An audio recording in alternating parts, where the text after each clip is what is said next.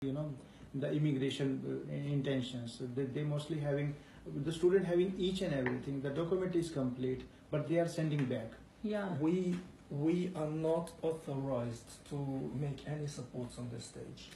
This is like uh, Mr. Hook says. This is very Because if students paying um, the tuition fees, if students uh, having Showing all original documents, student is not criminal or something like that. Because we require PCC also Mhm. uh, in the Police documents. report, yeah. We, Uh, we, we understand all this, and we are experiencing the same process with different students from Africa, from, from different countries, Mhm. and we are not authorized to give any support in this situation. This is beyond our responsibility. This is on the level of the law of Ukraine. But as you are in Ukraine, in some other universities also, you might be have been noticed that the students from India they are coming over there. In some other universities also, did should be in your notice at least.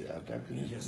Uh, there are uh, some things which can be done from the part of the university. We may write a letter, we may ask somebody for assistance, but this is not that officially as you would like it to from us to hear. We, we are actually not never been authorized to that budżet. Ja zrozumiem, no, technicznie pytanie. Podnieżka, nie, że... These are technical. Like Australia, such experience with the, universities, those having, you know, very good connection to the education department and they are just calling and the student is out. So that's why we are asking that. Uh, it is not about that we have to you know push the immigration department that no, we- it's our students, and send send them back or something. we, we can promise, the only thing that we can promise is that we will assist uh, um, any issues within our responsibility. Mhm.